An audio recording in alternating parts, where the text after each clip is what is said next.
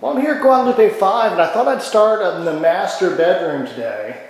So uh, walking into the master bath here, you have a really nice side-by-side -side sink with some high-end cabinetry. All this was custom done. This fabulous uh, Michael Hsu design uh, really shows off the glass tiles here.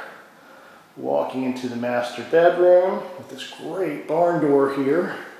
Kind of shut it off, modern design. I love how these really high-end windows are kind of offset, creating a design element. Yeah, very nice. Wife-approved closet. Washer dryer area up here. Really fantastic stairs. I'll go down and show that next. Here's the other bedroom. Another full bath is in here as well. Particular one has a classic tub. Another wife-approved closet.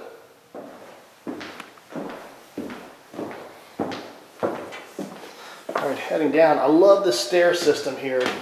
This is a beautiful example of design and practical use put into place. Uh, Michael Hsu developed this. I'm just going to show you.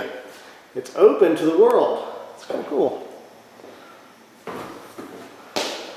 Okay, more classic space here in this live work property. Okay, dining room, great kitchen with a nice bar here. You can eat right there. Living room is generous here really nice storage closet. And this particular unit has a, a direct access to the back or to the back, which has the parking spaces. I love these custom cabinets here. Very nice. Little details, just that fixture is probably a $500 fixture. Lots of really high-end details here. Okay, let's go on out to the back here.